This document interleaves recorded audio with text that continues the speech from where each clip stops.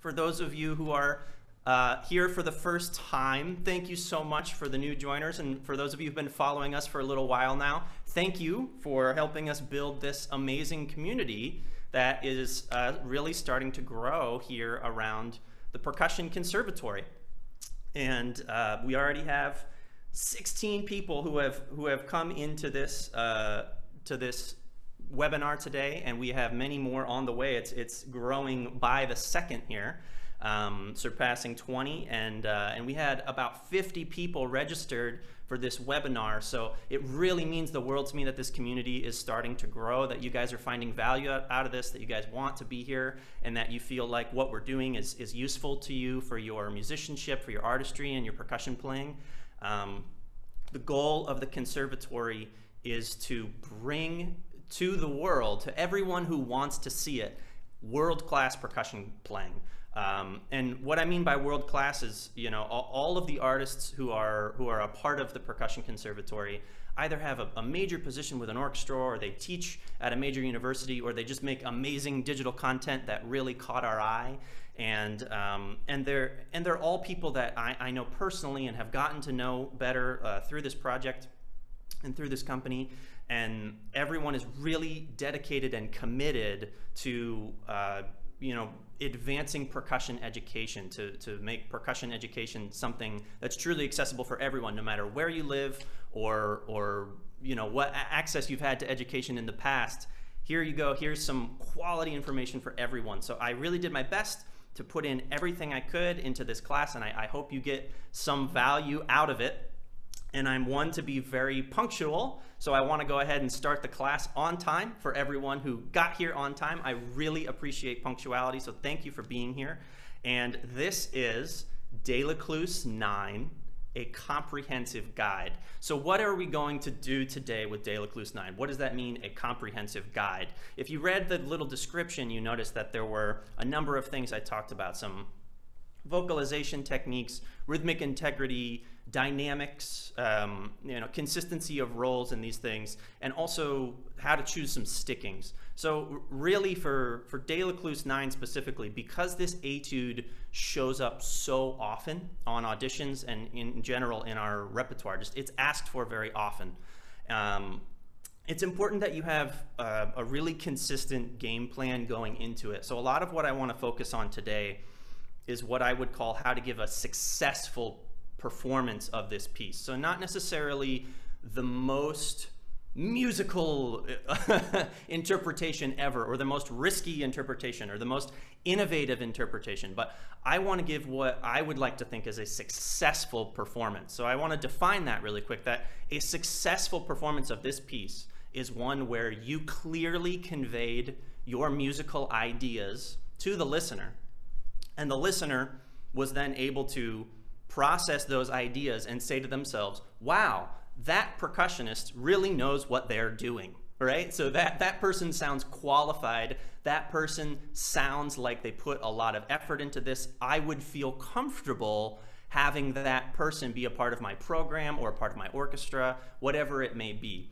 And the reason i wanted to talk about this etude is because it's one that i personally have had a lot of success with I've played this etude for a lot of orchestra auditions where I have advanced past the rounds, and I've also used it on almost every single audition for schools, for conservatories, including Juilliard and New England Conservatory and Rice University and uh, Manhattan School of Music.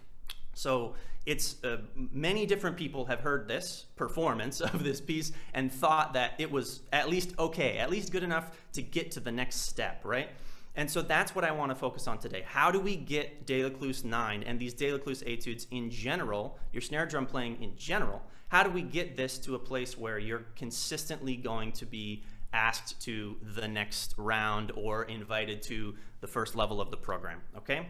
So the very first thing we do when we're trying to create a consistent performance, for me, one of the very first things I have to do is I scan the whole piece and I make sure that I've chosen the right tempo because the first time I'm going through the piece, I need my stickings to actually be at the right tempo. Because if you practice very slow, which we often do when we're learning something, our sticking might be very different for something slow than it is for something fast, okay? So when I start this piece, and I'm going to be going through measure by measure, and i will probably do a performance at the end.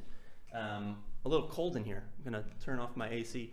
Um, what I like to do is um, I like to go through these pieces measure by measure and really make sure that every measure has been accounted for. So starting with the very first measure, we just have a, a very, very simple pattern, but we need to decide how we're going to play it. We need to decide da da da da dum blah.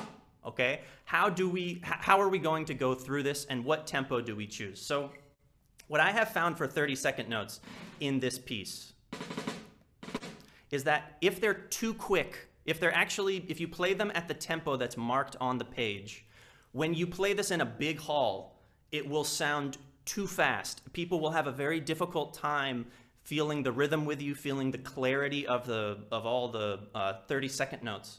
So it's important for me to a little bit try to disregard the tempo that's on the page and play the tempo that I feel like again is going to be the most successful. So sometimes depending on how much reverb there is in the hall, that can bring me all the way down to dotted quarter note equals 57.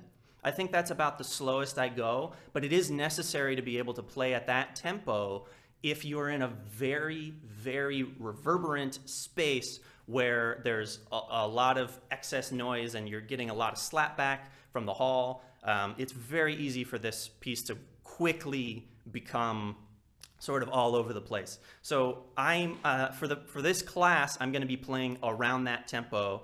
Dotted quarter equals 57. I think sometimes, you know, I'm not perfect. I think sometimes I might cheat all the way up to about 60, um, but it's going to be in that range. Definitely slower than what's marked. Okay. So my first rule for stickings, and I'm going to send everyone who attended this class a PDF of this information afterwards about how I choose my stickings. Um, so everyone will get that for free, my PDF about stickings, okay? So what I do is um, I start I start all my phrases with my dominant hand. So whether you're left-handed or right-handed, one of those should feel like your dominant hand. So for me, that's my dominant hand, my right hand. So just de facto, I'm going to start this with my right hand. Then, based on that rhythm, since this is the theme of Delecluse 9, that's the theme, right? So we now are going to find every spot within the piece and we are going to apply that same sticking if at all possible. That's my first two rules of choosing stickings is that you, you match your stickings from one sticking to another and you start with your dominant hand, okay? Now, my third rule of sticking is, is that um, if I can, I actually play everything with my dominant hand. So for example,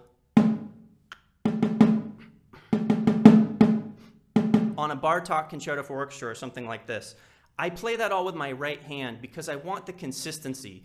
Um, and no matter what we do, no matter how how perfect your sticks are, uh, no matter how perfectly you tuned your drum, no matter no matter what, there's always going to be just a little bit of wibble wobble between your right and left hand. It's it's impossible to avoid it.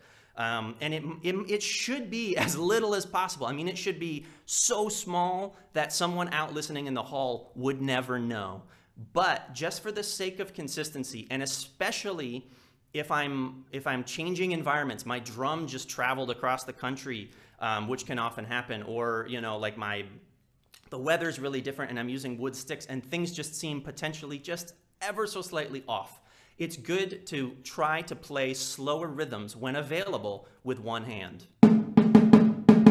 So what happens though when the rhythm is clearly too fast, like in this opening measure, the rhythm's too fast. You can't play, you know, at, at dotted quarter, again, we chose our tempo, at dotted quarter equals 57, we can't play that with one hand. So now we have some options. We can either play multiple strokes with the same hand, one, two, one, two, one, or double strokes, we could either play double strokes or we could play single strokes. And for me, I choose in this particular etude to play single strokes almost everywhere. Everywhere that I can, I play single strokes. And again, this is for clarity. I have found that playing in a larger space, and often for auditions, you'll play in a nice big larger space, that you want to be as clear as possible. So I'm going to play these as single strokes. And uh, again, I'm going to apply that sticking, starting with my right hand, to every spot that I can. So in general, all my 30 second notes are going to be alternating hands, right, left, right, left, right, or left, right, left, right, left, but it's always going to be alternating stickings, single strokes. Okay? So that covers the first measure.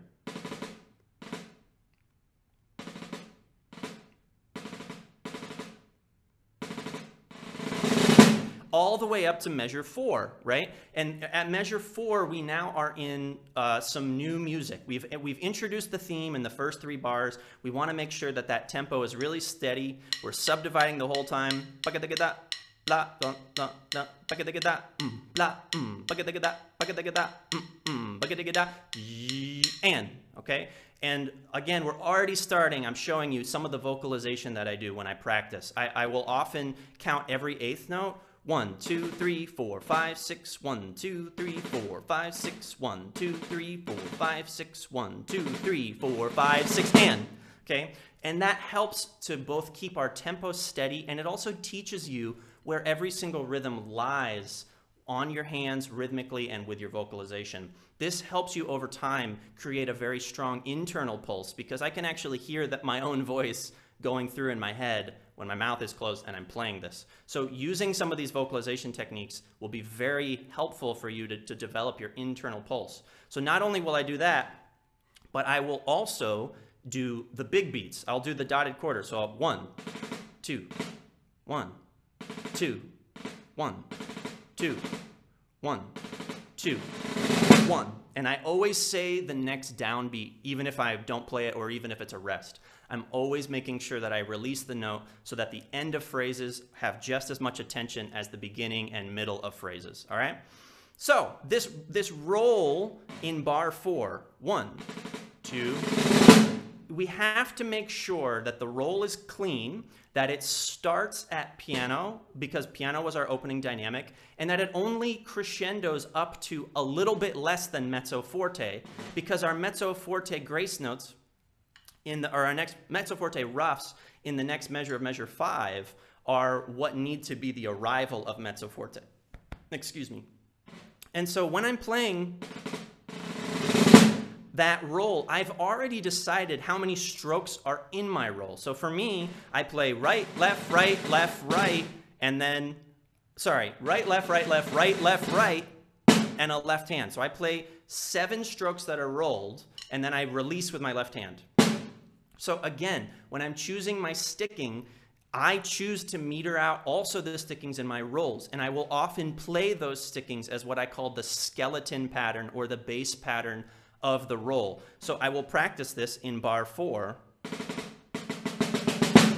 like that. I will practice just what my hands are doing without the buzz strokes and then add the buzz strokes in. One, two, three, four, five, six, okay? And that helps to understand, not only in this roll, but in all your rolls, exactly how, how much space is given to each hand. Because when we do our rolls, we know, and I think that you guys can see on this camera a little bit better down here, what we know that there are multiple strokes and that we compress them. But what defines how the roll will sound? Well, some of it is how many strokes goes into each bounce, right?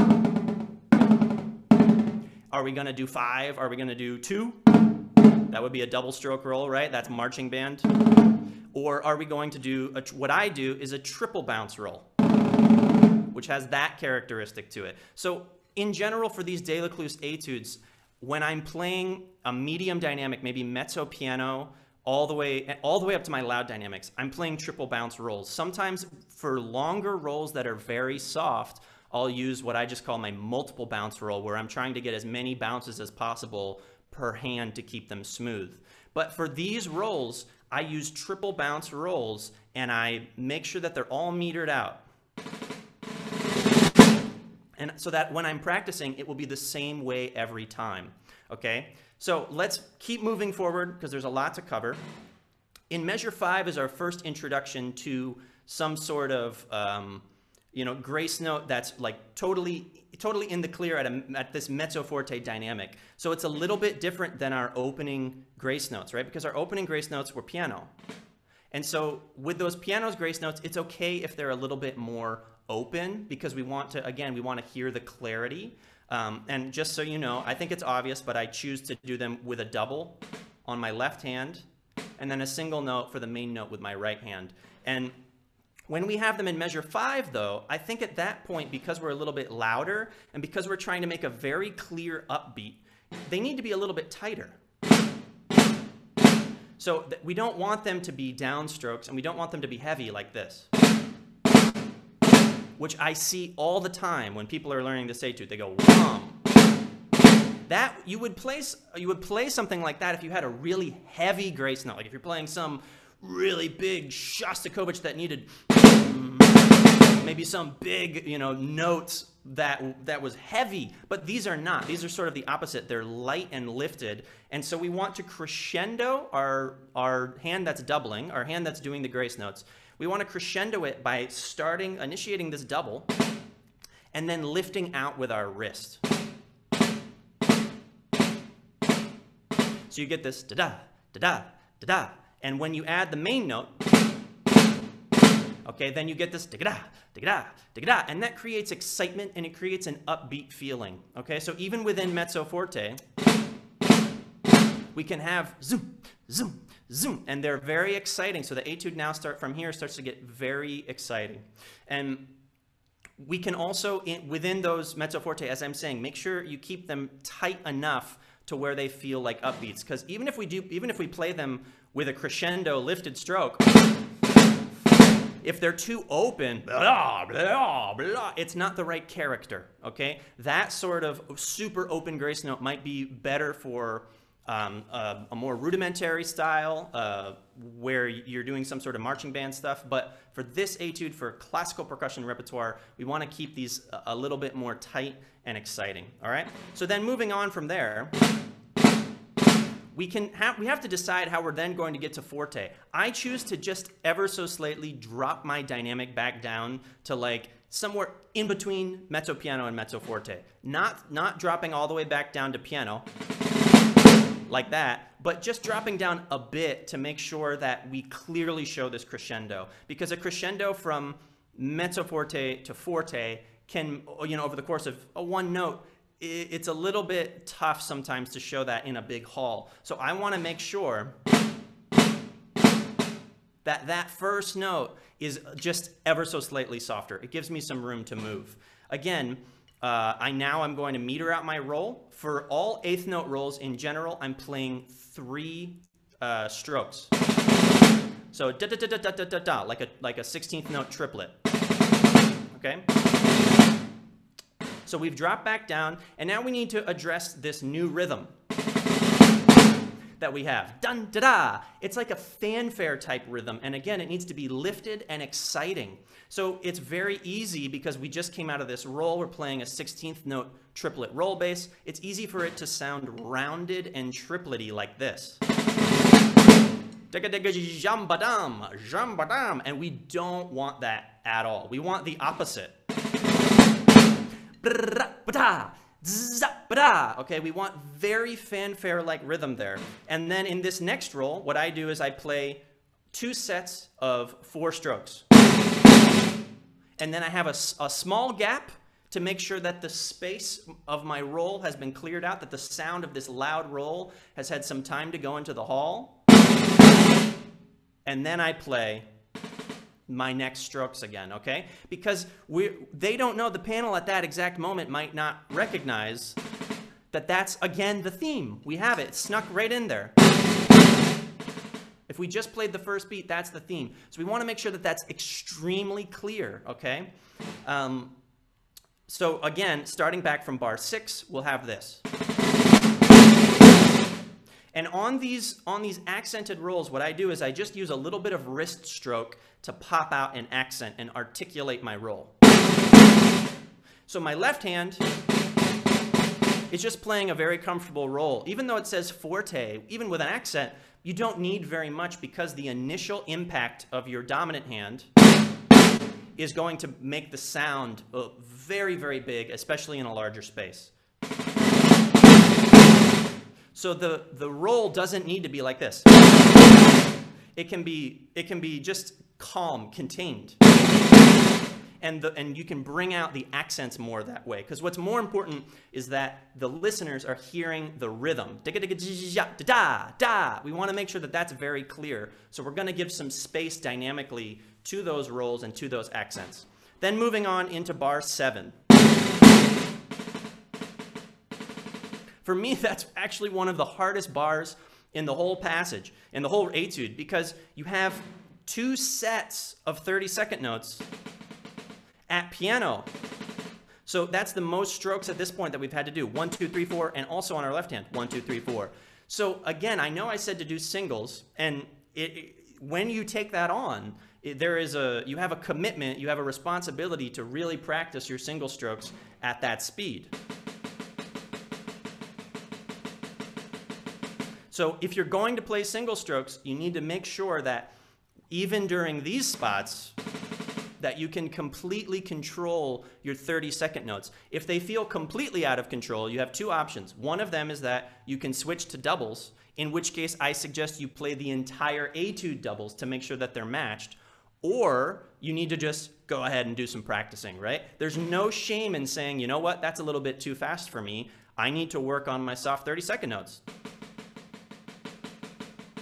I mean, it's 8:30 in the morning here. I guess it's 8:50 now, and it's it's not always easy to just wake up and have full control over 30 second notes, right? I mean, even for me right now, after all these years of playing, 18 years in percussion or whatever it's been at this point, um, you know, I I have to give a lot of effort to make sure that those notes are completely consistent across the board. So make sure that you give the attention of, of practicing that these more difficult rhythms deserve because you're only as good as your least good rhythm, right? You're only as good as, the, as your worst bar, all right? So, but otherwise, that measures pretty straight ahead. Um, as I said before, when, I try, when I'm playing things, I try to keep them on my right hand right, right, right, because I'm in the flow state. So one of my rules about stickings is that when you're in the flow state, which means that you've been playing a rhythm and the rhythm continues on that same hand. So if I had like that, I would play them all my way with my right hand. I wouldn't play I wouldn't alternate back and forth because I want to keep the flow state. And even whether and that happens whether it's on my right or left hand, and I'm in the flow state when I have at least three notes in a row, okay? So like that right there, I have at least three notes in a row, I'm in the flow state, and I, I continue on with my right hand. Again, one, two, three, one. Da da da da da da da. That's how I do this roll. And it, this is a great opportunity to show your dynamic range. So make sure that when you're in this subito piano in bar seven and eight, that you don't crescendo. One of these times I was playing it, my, it came up just slightly. That's no good. It needs to stay down just like that, all right? Then we, we play this piano roll. We come all the way up to forte. We open up the drum and then we come right back down. And so I end that on my left hand, but I want to start as many of these 30 second notes as I can back with my right hand. So I play left, right, right, right, right, right, right, right, right, right, right, okay? And the reason that I do that, have them all on my right and not alternate, I don't want to alternate because if you broke it down and you just saw which hand was playing, uh, which individual hand was playing, You want to have that happen. You want to have a very smooth, even decrescendo happening with one hand. It'll really help to, to help the listener hear. You want to have that happen where everything just fades away there. So again, this roll, okay, comes out and you play it all right hand lead leading down.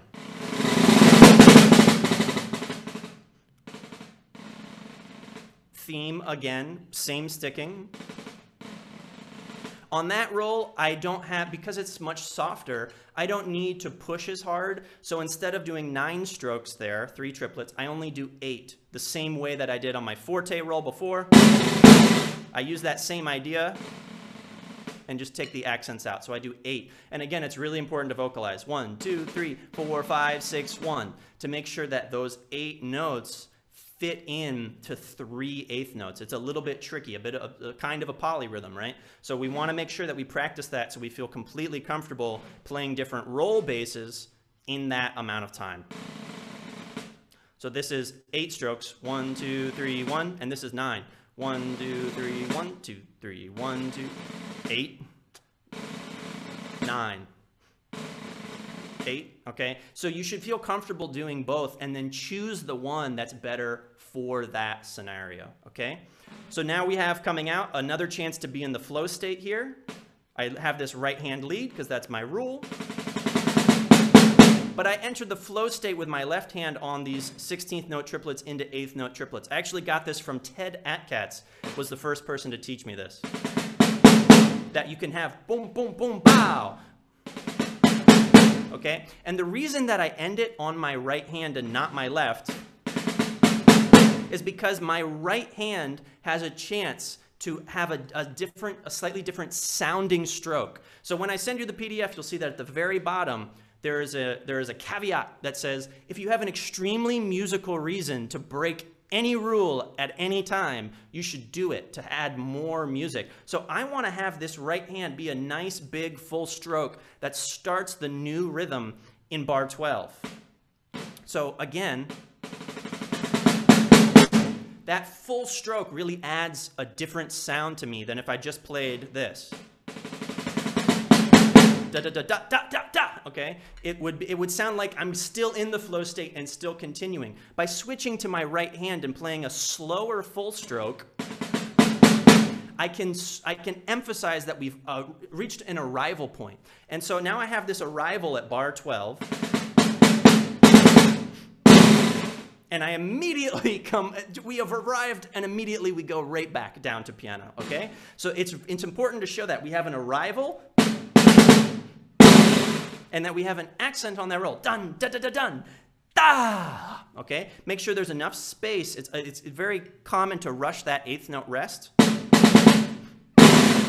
Okay? It should be very dun, da, da, da, dun, ba. Okay? Very, very clear with your rhythm there. So now uh, we get into some uh, more challenging material here. Again, make sure that your dotted 32nd note there, sorry your, sorry, your dotted 16th note into the 32nd note is tight because we want to show the difference between 30 seconds and triplets.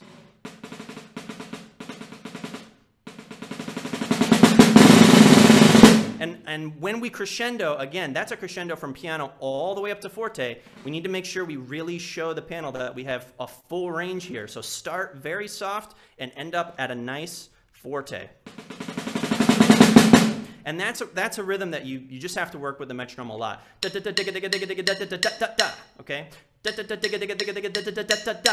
With a crescendo. And when you get it, it can sound very, very convincing. You can show them exactly what those rhythms are on the page. You want to make sure that it doesn't blend together, sort of like. You don't want to have like. Blah, blah, blah, it needs to be still very clear and it needs to crescendo. You don't want to accent every rhythm. You don't want to do that, right? You don't want to have every single eighth note shown, but you do want to make sure that the rhythms are shown. So I play my triplet with just a little bit of agogic on the 30 second notes. Da, da, da, okay? Da, da, da, digga, digga, digga, digga. I show digga, digga, digga, digga, just ever so slightly to help the listener make sure that they know where we are within that rhythm, within that bar, even within that crescendo.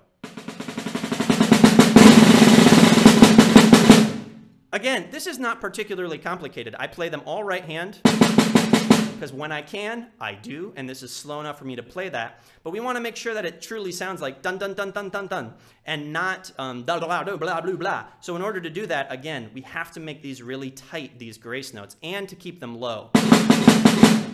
We want to make sure that they're heard, so we don't want to have them so low like this that, it, that you don't hear them at all, but they can't be so loud that they sound like a whole new rhythm. That's a different rhythm, right? We want to hear dun dun dun dun dun dun. So you can practice this by playing them as flams. And then just add in the extra note. And here we have what is possibly, in general, for what's usually asked, the hardest two bars in classical percussion repertoire for me. I, I think that these are very, two very, very tricky bars that sort of expose the difference between someone who has true control over their rudiments at a so- soft dynamic versus someone who can only play this at a forte level, okay? So we have two options coming out of this roll. We can either play these doubles on our left hand like this, right, left, left, right, left, left, right, left, left, right, and then we would play doubles to keep the flow state, right? Because we were playing doubles. So we want to keep that flow state going because that's what they've just heard. Dun chicka dun chicka dun chicka chicka chicka dun. Okay. Uh, or we can, um, or we can play them on, with the doubles on our right hand, which would be just the opposite, right? If you choose to play the doubles on your right hand, this is what I suggest. When you reach bar 17, when you reach that uh, the, the beginning of the next bar, play this left, right, right, left, right, left, right, right, left, right, because that helps get you in the in the shortest amount of time possible back to your right hand or your dominant hand for the flow state of all the rest of those notes. Okay? If you play it the other way, and I've tried both, um, I don't really have one that's my favorite or one that's better. It's just whatever you're more comfortable with. That's on my left hand, and this is on the right. Woo! Obviously, I have a favorite. That one's less good. When you play it on that side, the ending is the same. You just play these as doubles straight doubles in 17. So for me, I like to, as you probably can tell, I like to put the doubles on my right hand and play left, right, right, left, right. Okay, so that's one tricky sticking that can might might really help you a lot. I encourage you to try a few different stickings, see which one works best for you, and then whatever it is, really commit to it. Because when that comes up, you're gonna want. It's like even now, you know, after doing this for many years, it, even now when that bar comes up, I'm like, whoa, I gotta focus, right? So you want that bar to come up and not be afraid of it. You just want to say, okay, I have a plan. I'm to execute my plan. I know exactly what I'm to do. It's going to be this many strokes. For me, it's eight on my left hand. And then I make sure I don't rush this.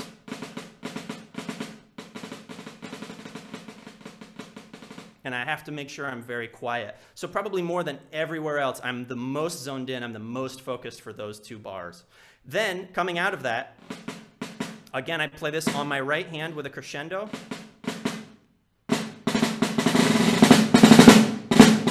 And now we're into very sort of very different music here where we're at forte for quite some time. So uh, there's nothing complicated that we haven't already addressed about bars uh, 18 and 19. Nice and tight.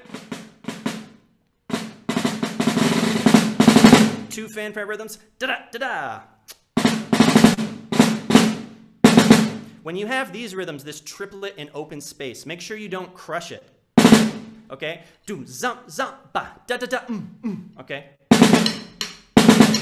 I encourage you to practice that by hitting the rim, by vocalizing. Boom, bam, bam, bam. And on those, you can play those 30 second notes a little bit tighter to show the to show the difference between the triplets and the 30 second notes, but you want those to be pretty accurate as well. Sometimes I hear people doing this and they're super tight. They're trying to be maybe a little bit too stylistic. I think it's cool. I know there are some certain schools of thought that have that one particular spot really tight. Um, I'm not sure why. I'm not sure if it's try to try to show that you're from a certain place or that you're doing a certain thing, but I do hear that a lot.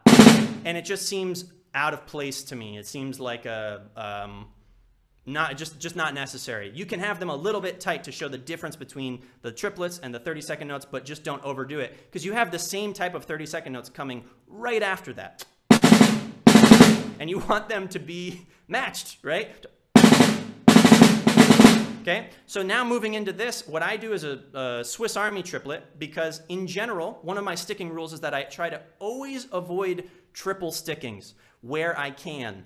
But in this particular bar, I find it impossible to not have a triple sticking somewhere. You're either going to have, you're either going to have or you're going to have You're either going to have two and then a loud or two louds and then a soft, right? So I always choose the one that decrescendos, the, the triple stickings that start loud and then they decrescendo. Back to the AC. I'm getting excited. so what I do is that I always, um, like I said, have uh, two, uh, when I'm playing these Swiss triplets, I'll have two notes that are loud because I find that easier to stay at the full dynamic. This, these notes are all at forte. They're not like blah, blah, blah. It's not this. It's not one, two, three. It's the, the middle note needs to be the same dynamic as the first and third, the ones with the, the ones with the grace notes, right? So again, the same thing. In bar 22, you should have those be the same.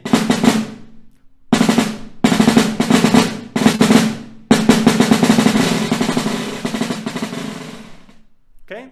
So when we're coming down, this is an, a, a, the rhythm is accelerandoing, and the and the dynamic is decrescendoing, which can be tricky to do. Okay, when you have that sort of thing, it's very very important that you do not rush it. It's it's easy for it to fall away because you're getting softer, it's crushing, and the rhythm's speeding up. So it's very easy to rush and crush. Okay, don't rush and crush. Instead, stay open, stay calm, be 100% literal. Okay? And make sure that you're really with the metronome there. Use your vocalization, and you'll be successful in that bar. Uh, when I come out of these, uh, again, I play all these rolls as three strokes. And I just make sure that that release is clear but soft.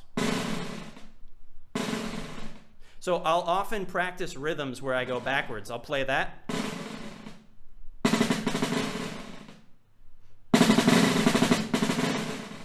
Okay? And I'll just keep backing up, backing up, backing up. And that can be a good, a good way to practice and also a really good reason to write in your stickings, especially when you first start, so that as you scoot back, you're always knowing which hand you start with. You can see at that the beginning of that pattern, I actually choose to start on my left hand and I alternate the whole way, again for a musical reason, because I want to have a very consistent. So much of it is so much of the rest of the passage is alternated that I want to start the whole thing alternating and have a decrescendo. Uh, you just can't get around, oh, I want to start all on my right hand on that particular passage, or I want to start them all on my left hand. You're going to have to switch back and forth almost for sure. Otherwise, you have some really weird and crazy doubles in there that I would suggest you avoid. So, okay, a nice soft release. Then, surprise. And then another surprise. And then another surprise and then another surprise. Okay, so this is a, a fun little Delecluse passage that he writes in here, and it, it is um, it is important that it's truly two different dynamic levels, and that you're not decrescendoing your roll or crescendoing your roll. So dan da da dan da da da da dan dan dan da da. Okay, they they happen immediately, and that's the hard thing about this passage is that you have to show those immediate terraced dynamics in real time. So don't feel afraid. Uh, you don't have to 100% connect the roll. It doesn't have to be like you have this mystery note that comes out of nowhere because the roll is going to be loud. If you completely connect the roll, you run the risk of not hearing your piano notes. Now, on those rolls, I think it's cool to connect them because they are more surprising so I actually disconnect my loud rolls and connect my soft ones. That is a bit of a strange inconsistency that I choose to do in my playing, but I make it as a conscious choice because I feel like the loud roll actually sounds connected even though it's not. So I'm not thinking of it as I want it to I want the first one to sound disconnected and the second one to sound connected. I'm thinking of it as I want them all to sound connected and in order to do that, I actually need to disconnect the first one Otherwise, you won't be able to hear the piano dynamic. So again, something like this. Okay, that's how I choose to play that passage.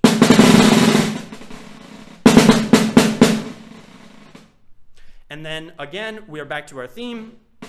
Okay, and we start this with our right hand. And when I have this one, I do a bit of a strange thing.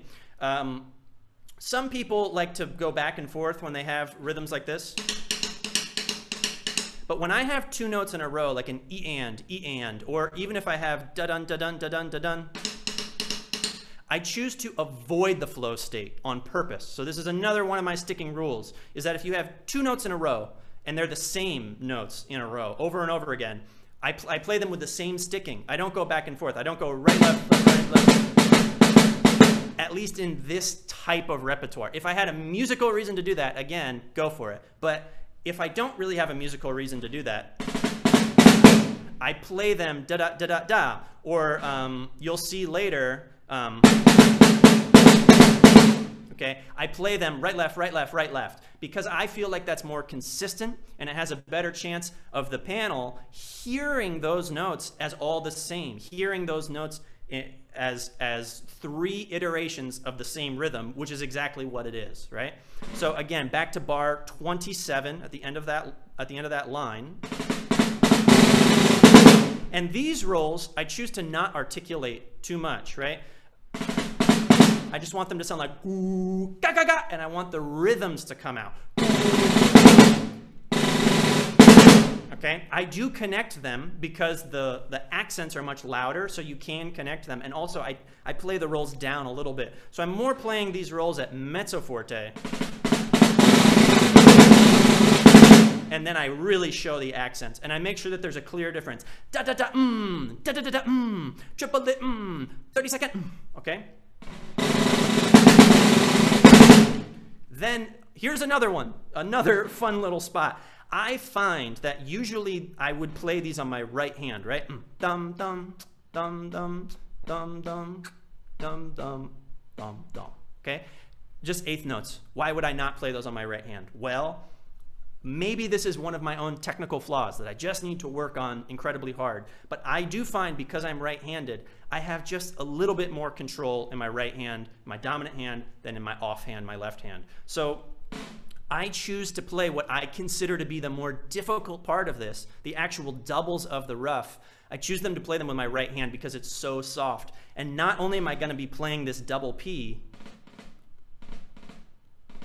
I'm going to decrescendo. Okay? So I play these double P, a little more open, and then I decrescendo, and then I have to start the roll and I, and I have to start the roll and uh, you know at like basically triple P, but that's so awesome because it gives me the chance to crescendo the entire dynamic range of the etude, which is that sort of invented triple P all the way up to double F, okay, all the way to fortissimo. So there's nothing too tricky about these grace notes here that are super quiet, but you do need to make sure whatever dynamic you played the opening, people always, you know, uh, sometimes I get the comment from at mock auditions that the piano there could be softer. And maybe that's true if you're cutting the etude in half, right? But if you're if you have to play the whole etude, if you're expecting to play the whole etude for an audition, I would say don't start the very beginning too too soft because you need to clearly be softer for the pianissimo. So if this is your opening, make sure that the pianissimo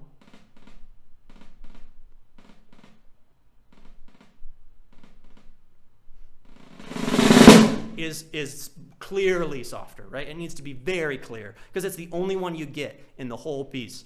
And again, since it's the only one, you have only one chance to show pianissimo. I'm going, I'm going where I feel the most confident. I'm going with my right hand. I'm putting that right hand in charge, and I'm going to make sure that he plays um, the, the grace notes there.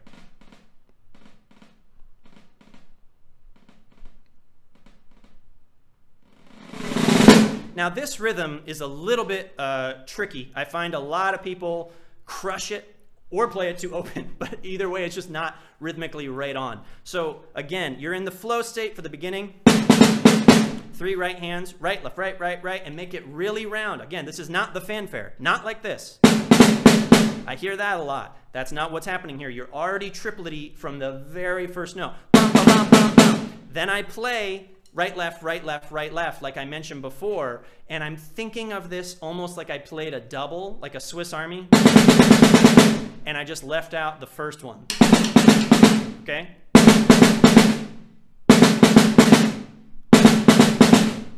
Because I hear a lot da-dun, da-dun, da-dun, way too tight, or da-dun, da-dun, way too open, all right? So it has to be right in the pocket. And the other thing is that the space in between the first half of the bar and the second half of the bar often gets off as well. So make sure dun da dun dun dun da da da da da da. Do it in different ways. So in that one I did three clicks, dun da dun dun dun da dun da dun da dun. That one's two clicks. You can do all six. Dun da dun dun dun da dun da dun da dun. Oh. Okay, make sure you, you split that bar up into some different patterns to, to, so that you know exactly where the first and second half of the bar lie. Okay, now we're right back into some familiar material, not much to say about it.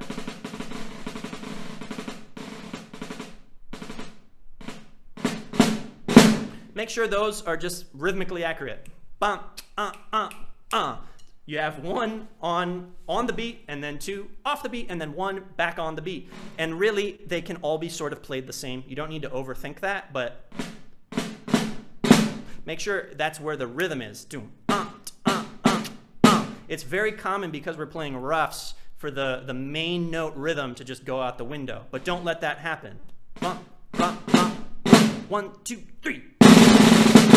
And then make sure that is a very clear full half bar of rest. One, two, three. I always count every single eighth note. I'm always subdividing. So one, two, and three.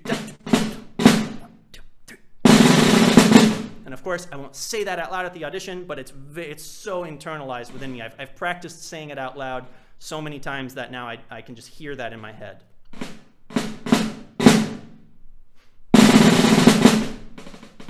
Now, on this last spot, here's one tip that I, I, feel like a lot of people don't do, and, um, and I'm really happy to share this particular tip. Maybe the most excited for the whole piece. When you are playing repeated notes like this, just and you have accents that you need to show. The way that you do this is that you set, and I think you can see here, you set, oh, maybe this one is better. No. I'll show you like this way. You set the stick inside of your finger in just a certain way and just let it sort of wibble wobble with your by using your arm. So there's like just there's just ever so much space that you're allowed to use. The, the stick is loose, uh, as loose as it needs to be, right? The stick is quite loose. And I just use my arm there. Dun, dun, dun, dun, dun, dun. So I would call that arm and finger. But really what it is is just choosing a position that you have control over where you can let the stick go. It's almost like it's, go, it's hitting the drum and then it's coming back and hitting the bottom of your hand there. So like this. And then when you need to play an accent, use your wrist. Okay? So I play, I have my position locked and loaded for my 30 second notes. And I'm just using a little bit of arm and in that loaded position with my finger. And then I have my accents come out with my wrist. And that helps those accents to be very, very clear. And I can think about almost only just the accents. Dun, dun, dun, dun, wrist, wrist. Wrist, wrist, wrist, wrist, wrist, wrist, wrist, wrist, right? They all come out with just my wrist. Sorry. And that way I can also control the crescendo very, very cleanly because I can just lift, I can lift up my arm and I can also very carefully choose the exact amount of crescendo that I want with my wrist strokes. And especially at the very end, we need those last two accents and then into the next measure, we need those to crescendo very clearly. Da-da-dum! That's very, very important that we hear that.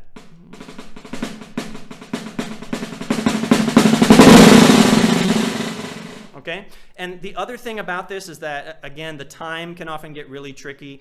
Recognize that the accents of the triplets, da da da da da da da da, those happen again. Do do da do da do do da, and then it's 30 second notes. Do do da do da do da. So it should sound very clear. Do do da do da do do da do do da do da do da, right? It's the same accent pattern, but it's just moved slightly. So, uh, or it's not, it's not moved. It's the same accent pattern that's been compressed because of the new, faster rhythm that's being used from, from 16th note triplets to 32nd notes.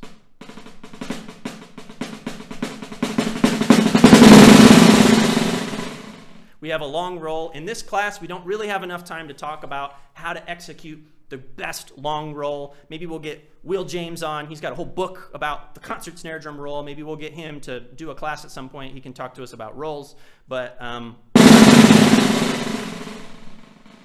that that sound needs to the, the thing you should be going for in your mind the one tip i'll give you for now is that it needs to sound smooth and lush it should not sound like yeah it should sound like just like a like you're in a sci-fi movie um, right like you're just turning down the filter on your on your uh, digital audio workstation or something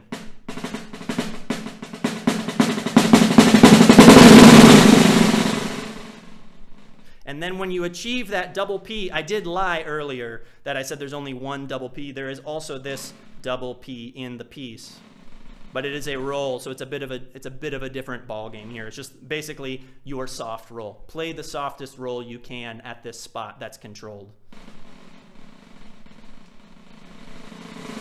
When you crescendo out of that roll, um, there's this whole debate about how much to crescendo. I would say just don't go overboard. If you crescendo too much, it's too much of a surprise that you're back to the theme. If you don't crescendo at all, um, then you, then you've just missed the crescendo. So you don't want to do that. So make sure that you crescendo, but not too much is what I would say. Be smart. Use your head don't that, that's not a good place to go cowboy right? It's not a good place to say look at this crescendo i can do. You've shown so many crescendos. Just play a small crescendo make it clear and then play piano. If it goes a little bit above piano it's fine. If it goes to piano that's fine too. Just make sure it's clear and steady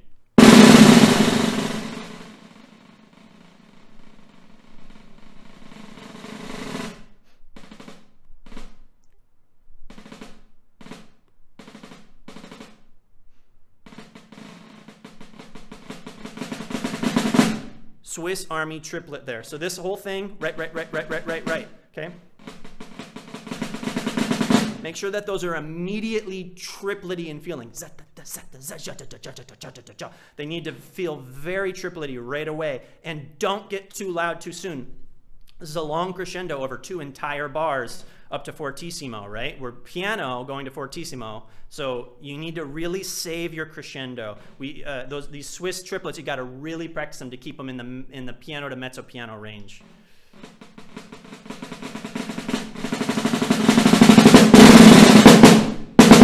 Now, this should that should be the biggest thing of the whole piece to me, I, I believe. And this last iteration of the theme is like a connected echo or afterthought. Da da da da. He could have ended the piece there, right? Da da da da, and it would have been a cool ending. But it's almost like it's like, remember, you know, da da da da. Okay, so you want to uh, show that both in the way you play it, but probably also in your body language as well, especially if this is an unscreened audition okay? and that I think that was a little late. I think I need to come down sooner. But it should be connected. Da da da da. Da da da da. Okay? It shouldn't be you know this sort of this sort of thing where it's like an afterthought it's very much connected it's like the piece has ended but you haven't lost it it's almost it's almost like when the conductor finishes a major symphony and then he just waits in the silence it's like the piece is finished it clearly finished but somehow it keeps going, like the silence keeps it going. So I would say that happens here in bar 50, the very last bar. It's almost like the silence, right? And, and what I find is that make sure you start that rhythm on time. One, two, right? Sorry. Uh, one, two, three. Make sure you start it right on time. But if it is ever so slightly slower, it's going to be okay. So definitely don't rush it. Like if it was like that, just like a little bit more open, it's going to be acceptable because it's the very last thing you play and it's sort of like, gotcha, you know, like da da da da da, right? If in an ideal world, it's matched. But if you have to be one way or the other, because that's a little bit difficult to get from your loudest thing all the way back down soft again, can be tricky make sure that it's not crushed. That's the only thing. And guys, that is my Delecluse 9 class. So what I'm going to do now is just take a really short break because I'm losing my voice a little bit. I'm going to get some water. I'm going to take one minute off. I'm going to play the entire etude and then I'm going to start the question and answer with you guys, okay? So I'll change the camera up a little bit. I'll change my mic. So just give me one minute, catch some water. I'll play the piece, and then we'll start the Q&A, all right? Thank you guys so much for being here. It's awesome. Even, even an hour into measure by measure class, we have 30 people here. This is amazing. I'm so happy and proud to see where the platform is going. Just awesome.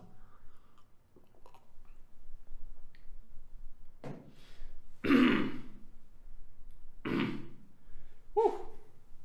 That's a lot of talking. I talk a lot, guys.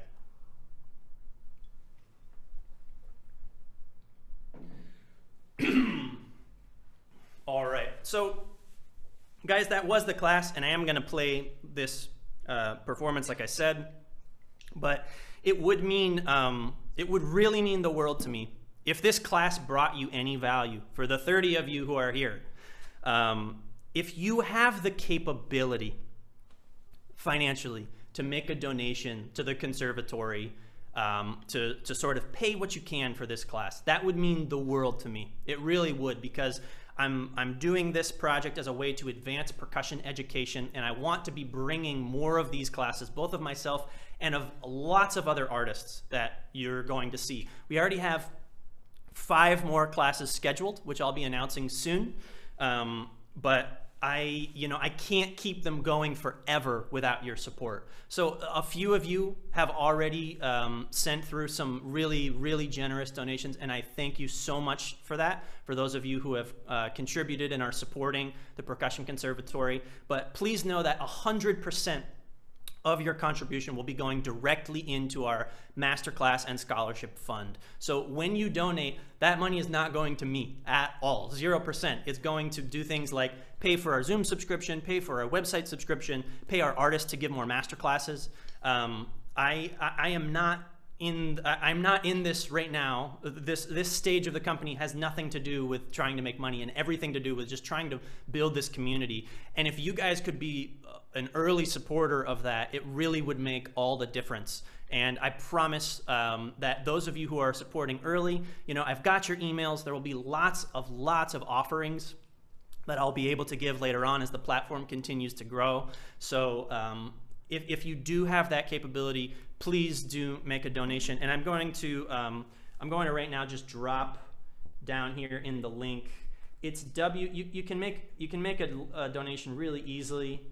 Um, it's www.linktr.ee, like Linktree with a dot before the e's, and then the PC. And I've just sent it to you guys there, the link. Um, and if you are able, if you are able to do that, just thank you so much. And to those of you who have, thank you so much. It really means the world to me. Um, if anyone has ideas about sponsors or you know a sponsor of yours who would like to get involved with the Percussion Conservatory, I'd be happy to hear from them. Please uh, just put me in touch with them via email. You can connect us at hello at thepercussionconservatory.com. And uh, yeah, you guys get it. Thank you so so much for for your support and and if you can't, that's okay. Just go ahead, share if you can share this video, if you can like it, if you're on Facebook, if you're when you see our stuff coming through Instagram and Facebook, drop a comment, drop a like, share it around, just show it to people, just show people what we're doing here with the Percussion Conservatory um, because I, I really believe it's a special thing. I, I strongly, strongly believe in the mission of the company. Um, and and the help that we're getting with, from Charlie Rosemarin as our blog editor and from Stephen Keener, who's our events manager. Um, you guys who are early supporters, it really means the world to me, and thank you for all your help. So, without further ado, here is a full run, full performance, I should say, of Delecluse 9.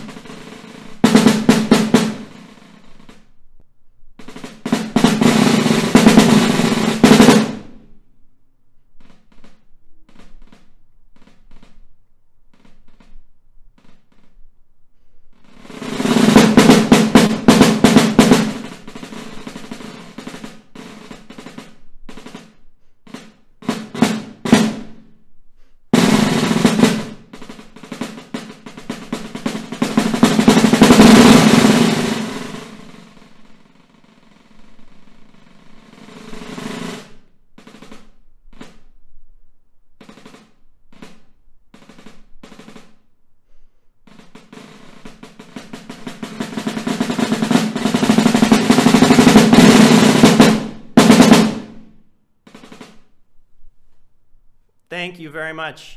Guys, thank you so much for being here. If you're watching on the webinar, if you're watching on Facebook, awesome, awesome, awesome to have you here. Um, if you are watching on Facebook, go ahead. You can still register and get into the class. We're going to switch over to the Q&A now, and I'm going to be taking questions from everyone who's here on the webinar only. So it's really good for you to register because that way you can get some one-on-one direct uh, information from me. You can ask questions to whoever our artist would be. So guys, let's do that. Thank you so much for being here for the class.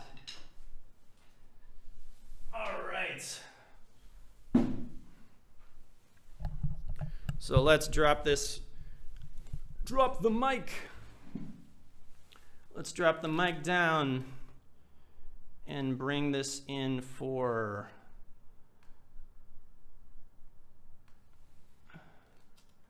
All right. Awesome. And we can go ahead. One second, guys.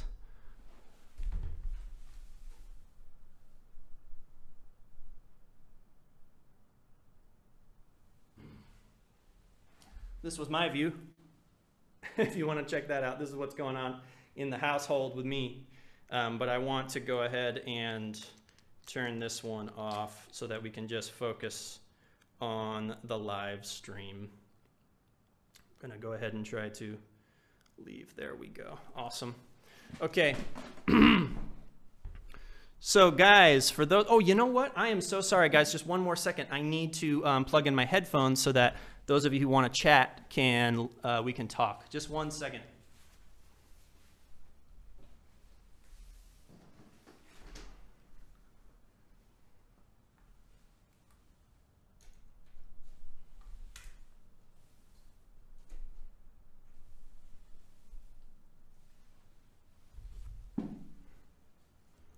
All right, I should be able to hear you all now. So guys, thank you so, so much uh, for coming and attending. I would like to let you know from here that you can, you can raise your hand, okay? You can raise your hand, and when you raise your hand, I will be able to actually bring you on to the webinar so that you can um, directly interact with me. So if you want to raise your hand, if you would like to actually ask me a question face to face in person, then please raise your hand and I'll invite you to be a panelist and we can chat face to face. So here are um, here are some questions that we have. All right. So let me try this button. Um, I'm not sure if you guys can can see that message or not. Uh oh. okay, here's a question that we have. It is number one, do you practice measure by measure or practice slow to fast run through the piece? All right, so um, that's a great question. That um, in general, I do both. I do a lot of practicing measure by measure because it's very important that I know what's happening at a microscopic level. I, I need to know exactly what's going on at every single moment. So I'm very particular about each measure. Um, but I do also do plenty of slow practice as a way to increase my focus throughout the whole piece and just to make sure I have the stamina to play the piece and that I get in the mindset of performing. Um, it is very important that you learn to let little things go. I mean, this performance that I just did was absolutely not perfect and definitely not the best run I've ever done, but I was able to, I think, still execute the piece in a way that was successful for you guys. You know, I think I showed you the things that I wanted to show you. Um, do uh, if if I was preparing this, if it, if this was audition level ready, right? If it was hundred percent, like I needed this um, etude, the performance of this etude was deciding whether or not I was going to receive a position with an orchestra, I would make sure that a lot of little things, a lot of little details were more clean. There were some things in there that I would just say were just a little bit sloppy around, you know, a little rough around the edges. So I would make sure that those things are cleaner. And for to get it to that level of clean cleanliness, I do a lot of measure by measure work. So that's that. Um, the second question we have is, which tempo do you recommend to start practice from? Um, I wouldn't go any I never go any slower than half tempo. If you can't play the piece at half tempo, No offense, but unless there's like one particular measure that you're like breaking down for some sort of like really intense reason, like the and you're just trying to figure out a sticking. Of course, sometimes you play things super slow, but if you can't in general play the piece at half tempo, it, the piece might be too difficult for you. So you should probably consider um, just working on a different piece of repertoire until those things are capable, are possible for you, or just go back to practicing a lot of your rudiments. Um, so besides um, besides half tempo, I, I, would say that half tempo is probably yeah the slowest I ever go to practice. But in general, I try to just be maybe 10 to 20 percent less um, because I do find that when I practice things repeatedly, super slow over and over and over again, I have a hard time in performance recalling the exact tempo that I want to go. I do want to build a certain amount of muscle memory at my performance tempo. Um, so I try to go full tempo where I can, and that's why I do break it up measure by measure to make sure I can play every single measure at full tempo. Uh, okay, the third question. What snare drum do you use for this etude, especially for an audition? The one I use today is a Pearl Philharmonic 4 by 14 inch brass drum. Um, I believe that that is the same drum, I think so, that Rob Knopper uses, or maybe he uses an aluminum shell one. And I remember being very inspired by his performance of, performances of these pieces. And he and others have spoken a lot about the benefits of a 4x14 specifically for Delecluse. But um, I definitely wouldn't go any smaller than that. But I think you can absolutely play this piece on a five inch drum. Um, and I don't really think brass versus wood, I, they sound different, but I think both are very appropriate for, um, for this class, uh, for, for this class, for this um, etude, for, for Delecluse in general. So either four inch or five inch drum, um, uh, and, and metal or wood is both fine. Okay, so then we have here Another question, which is Good morning, sir. May I know how do you choose your snare drum sticks? In addition, how does a high school student start an etude like Delecluse? And what do you suggest? Okay, so choosing your snare drum sticks is very uh, personal. Um, these ones that I have here are uh, Tom Freer sticks, the medium orchestral. Um, if you guys can see that, there's some free advertising for you there, Mr. Freer.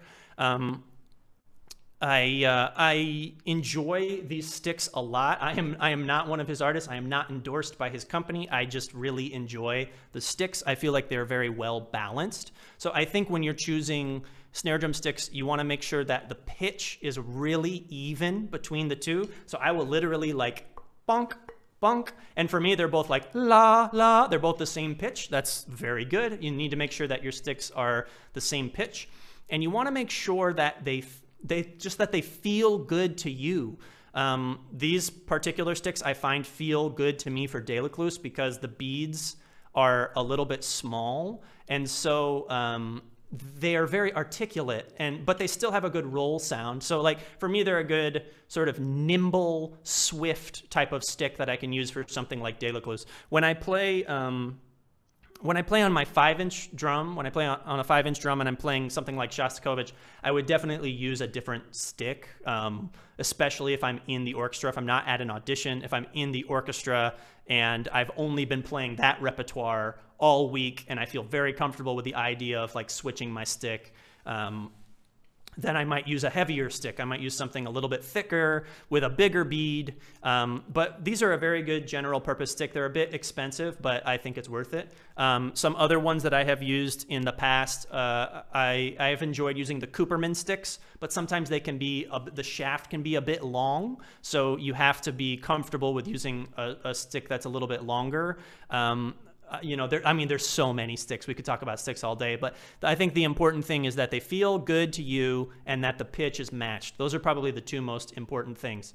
Now, your other question: How do you start? Uh, how does a high school stu student start an etude like Delecluse? Um, I think you need to start with a metronome for sure. I think the thing that you start with is making sure that you fully understand all the rhythms. So start with the rhythms. Go through every single measure very slowly and make sure that you understand the rhythms. If there's a question about a rhythm, ask someone, ask your teacher, you know, ask find a find a recording of the performance that you from someone that you feel like is really well respected and listen to it and make sure that they are, you know, that your rhythms match with theirs. Um, and especially if if um, if you've never seen the rhythms like you see here in Delecluse before, it might be very challenging, right? It's very some of them are very complicated, they're very complex. So it's important that you um, that you pay attention to that first. And the second most important thing is dynamics. So if you if you're playing the right rhythms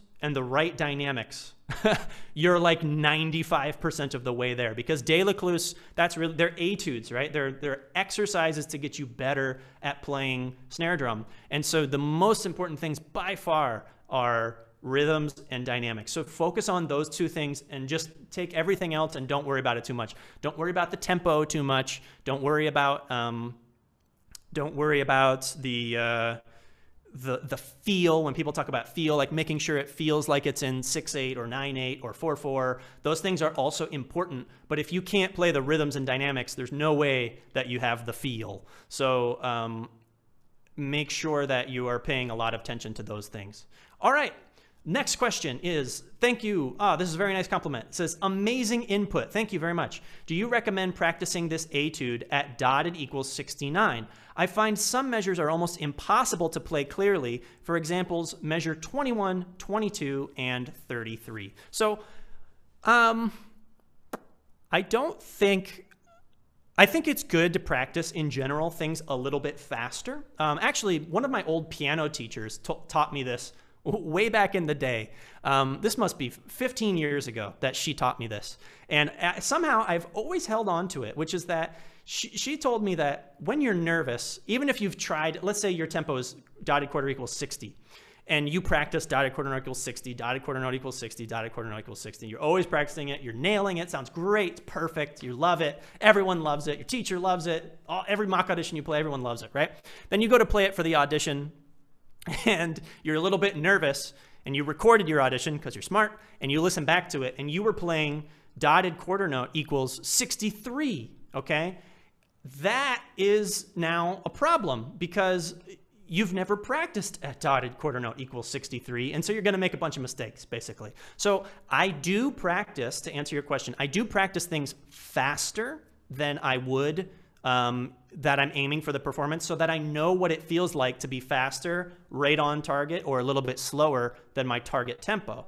And um, I, I wouldn't say that 69 is necessary. I agree. It is a bit of a, uh, an amazingly fast tempo, but it, I wouldn't say that they are impossible, but maybe your question is well worded. You said impossible to play clearly. And I think definitely in a big, reverberant, hall in a in a concert theater, right? That's very true. You would I would never play this at dotted 69 in in a concert hall. It just won't work. And, and, what I said at the beginning of the class is that I would choose to play maybe around anywhere from dotted 57 to 61. So I, I from 57 to 61 is my tempo that I would choose for this. Um, okay, next question. When you're doing a forte roll to a piano subito, do you end the roll before to get to the piano subito. So, okay, we're talking about the clarity of a release note here. And to answer your question, um, it's it's a little bit not the question's a little bit not specific enough, um, but because there are some circumstances where I might do that, I guess, but in general, I don't. In general, if I am if I have a loud roll, what I will do is I'll connect the roll, but I might play the piano note like ever so slightly louder, or I'll or I'll move my stick bead to a slightly different spot in the drum just to make sure that the release note is extremely clear. What you want to avoid is and then no release. You want and so I, I think of it like that. It's like and then you have a whisper, just okay. So you have to find a way to make that to make that little tap happen.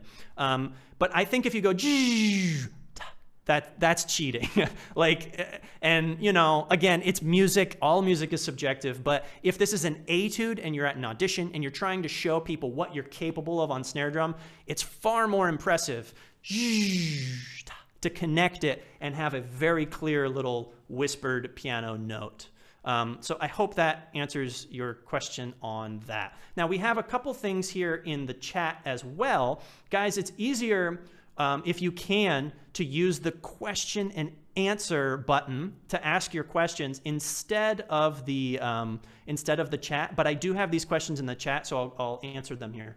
Did you ever practice this on a pad? If yes, how did you deal with the pad to drum difference? Um, yes, I do practice this on a pad, but as much as I can, I practice it on the drum. In general, with snare drum, I try to practice on the drum all the time because it does feel different. And I also, not only that, but I always tune my drum. I always check the tuning of my drum before I start playing because even the difference between like when my drum is tuned to an A, like la, you know, when it's tuned to an A, I'm sorry, I don't, I don't have perfect pitch, but la, when it's, when I have that A and it's here, maybe this is an A, la, um, when I have that pitch, it feels a certain tightness. Okay, there's a certain um, feeling of the, the how tight the head is pulled. And so especially for things at softer dynamics that are really tricky, like the dun dun dun dun dun that sort of passage is like completely different on a drum pad than it is on the drum itself. So for sure, you want to practice on the drum as much as you can. If you're worried about um, like wearing out your drum head, one thing you can do is that you can you can have a performance side of your drum head and then a practice side of your drum head. So you can you can just basically turn your snare drum around and play on it backwards. Um, and practice a lot of like the medium loud stuff there and and all, and all your soft stuff. And then you have sort of a performance side but you're always playing on the drum. And in general the drum itself is always going to feel way closer to the real thing than a pad. And there are some pads out there that really do an amazing job of recreating the snare drum feel but I do find that um, th- there's just no replacement for actually playing on the drum. So set up your drum, get on the drum. Um, if the noise is an issue, uh, make friends with your neighbors. Knock on a lot of doors and just say, I'm really sorry. I'm pursuing a career in percussion. I'm a percussionist. It would mean so much to me if you would allow me to practice. I know that it's very, very loud, so I'm going to turn off my snares to make it softer. And I'm going to also mute half my drum to make that softer as well. Um, but I need to practice this snare drum.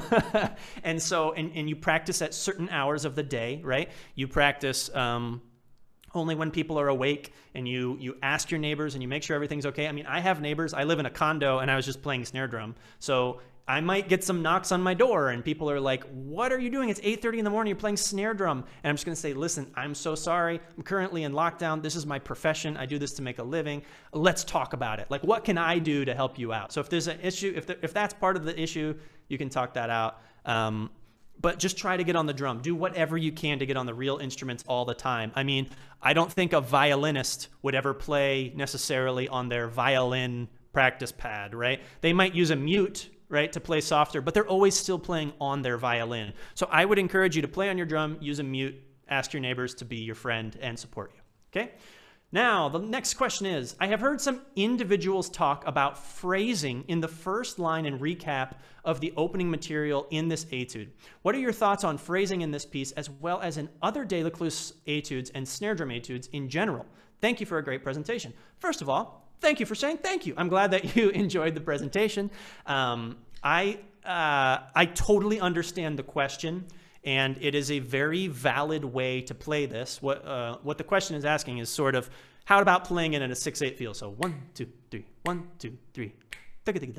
So,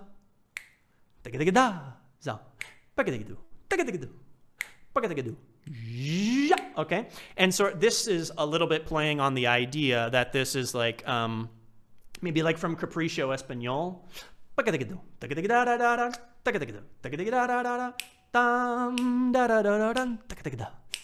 Right? So I think that it's playing on that, and I think that that's a valid way to play it.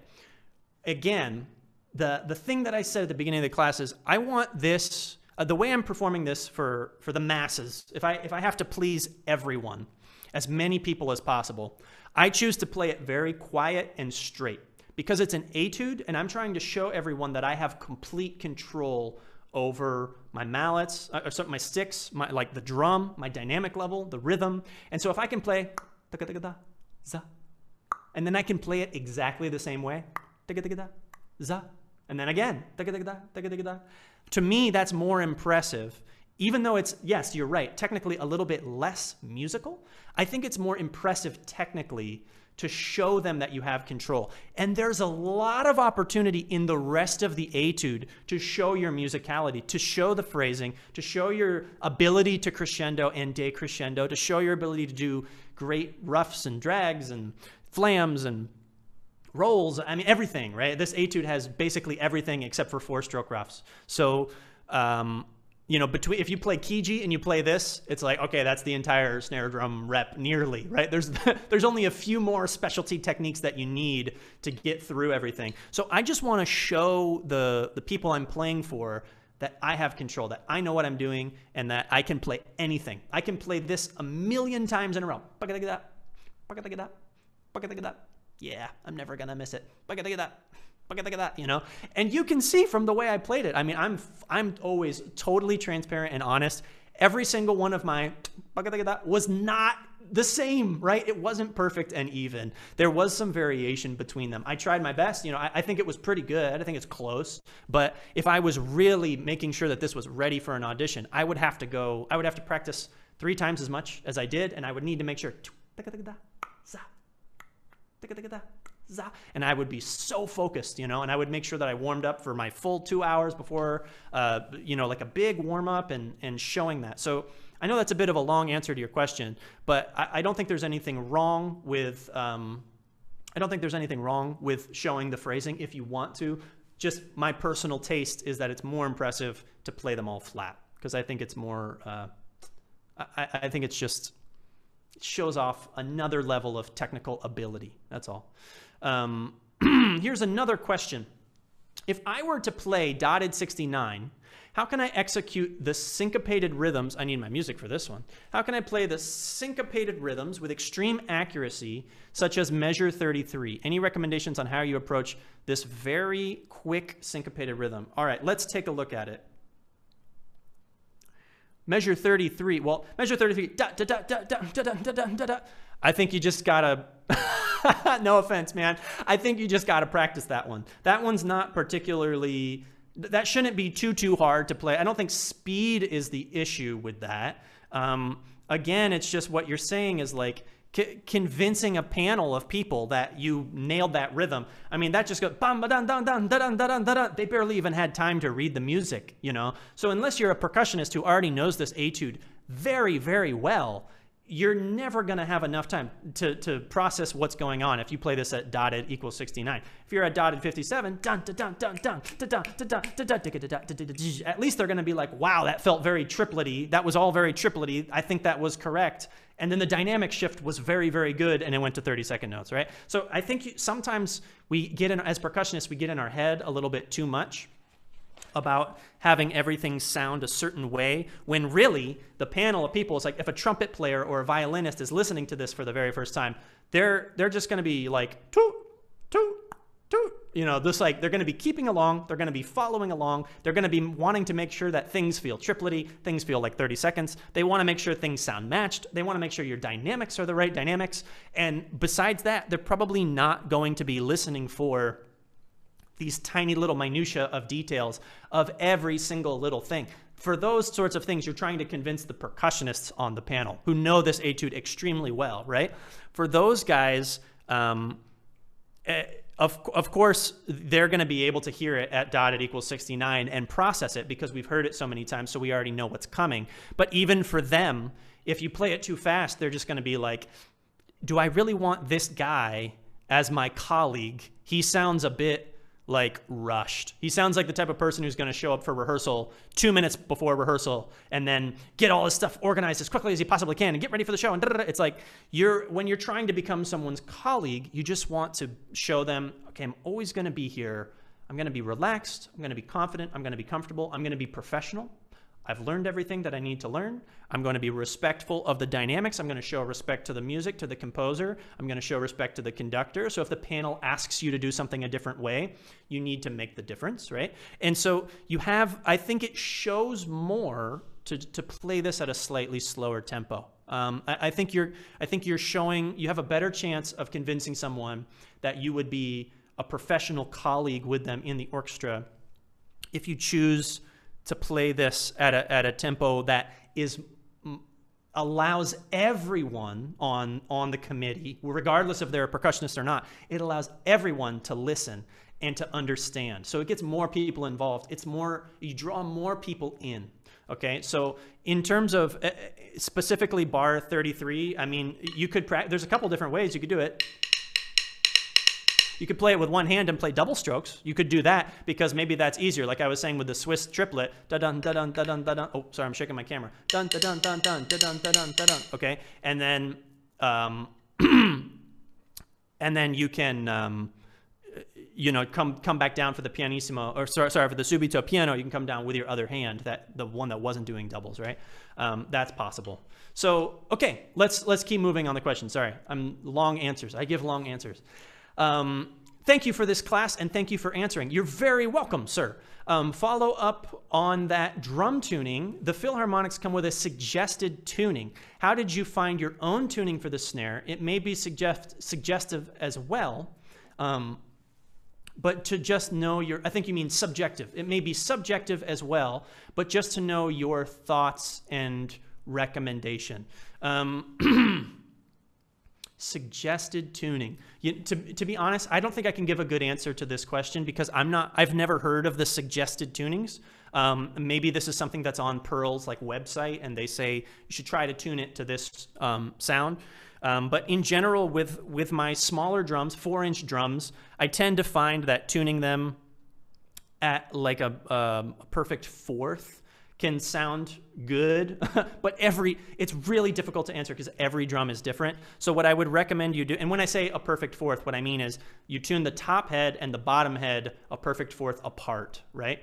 Um, and and there's so much literature out there and other people talking about snare drum tuning. I do not consider myself to be like the authority on snare drum tuning. Um, I have what works for me. I have, you know, when I'm when I'm at auditions in general, I I don't run into something where I'm being told that my snare drum sounds mushy or unclear. If you're getting comments that your drum sounds unclear or muddy or I couldn't hear that, or what was that? If you have that sort of thing, you might want to go back to the drawing board and look at the tuning of your drum and also the tuning of the snares on the drum and the muffling.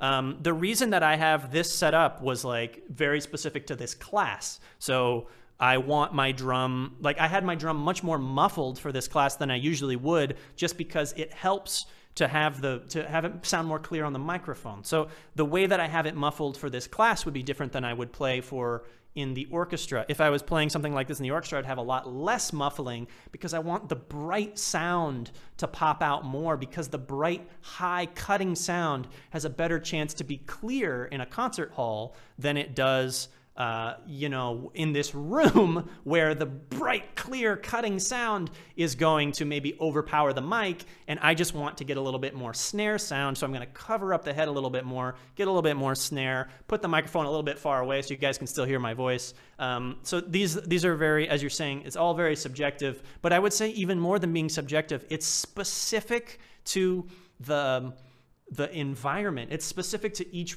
performance. So you might have a different, I mean, especially if you're playing on a calf head, you have a different tuning basically for every time you play. Every time you go out and play, you have to crank your drum up and you have to check your snares. So I'm always checking snares. Um, I'm always checking the tuning of the drum, the, the tuning of the top head, the tuning of the bottom head, and making sure I'm finding what works for that space. Now, what's difficult is when you go to an audition and you don't really get to test your drum in the hall before you go. So what you need to do is you need to take your drum to the, the most similar sounding place you can. If you have access to a different concert hall, take your drum to that concert hall. If you have access to a big, boomy room anywhere, a cafeteria at your school, or um, uh, you know, if there's a theater at your school or you have a local community amphitheater, even take your take your drum outside. You know, take your drum into as many places as you can and find the tunings that work in all of those different places, and then write it down what's working for those places, and have someone out, you know,